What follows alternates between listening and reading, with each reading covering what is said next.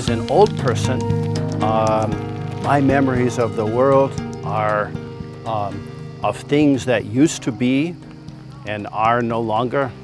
And uh, I believe that um, the world is going to get much, much worse very soon with fascism and climate change. So um, soon we will be remembering days like this when it wasn't too hot, there were no fires and floods, and people had enough to eat. Um, so um, the memories of the world are the memories of right now.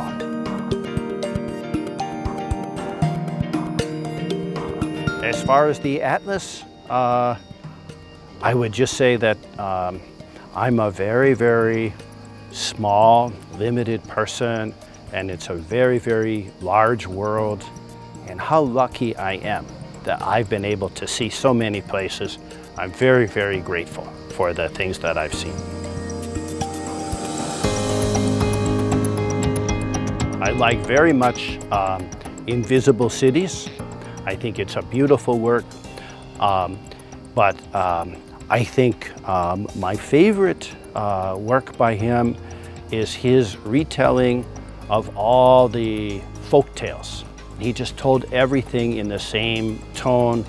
So when you read these uh, fairy tales, you feel that it's more like the real time that happened as opposed to some imaginary palace.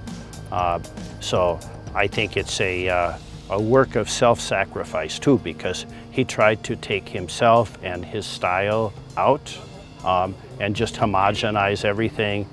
Um, so I think that's a, a great work of love. But uh, I really like that book.